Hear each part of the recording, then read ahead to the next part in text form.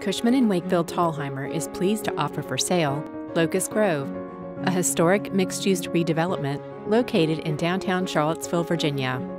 The property formerly served as Martha Jefferson Hospital, with portions of the property originally built in 1929 and fully converted in 2014 into 43 Class A apartment units, as well as 57,000 rentable square feet of Class A office space. Locust Grove is 100% leased at below market rents and includes a four level parking garage and two surface parking lots. Development of the existing surface parking offers investors upside through construction of additional apartments or office space.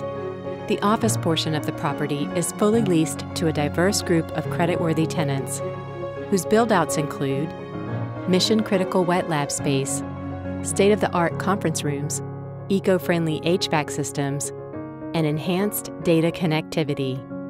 Charlottesville's office market is one of the strongest in Virginia, with current vacancy rates below 1% and rental rate growth of 10.3% since 2017. The Locust Grove apartments include one and two bedroom units and offer a variety of unit amenities, including gourmet kitchens, granite countertops, and oversized windows. The property's competitive set includes six nearby properties and averages 98% occupancy.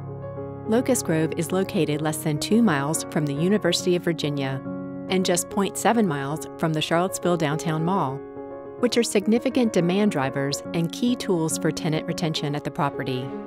Charlottesville's outstanding market fundamentals, high barriers to entry, and rare downtown development opportunities make Locust Grove a unique opportunity to purchase a historic, mixed use investment in one of the country's premier college towns.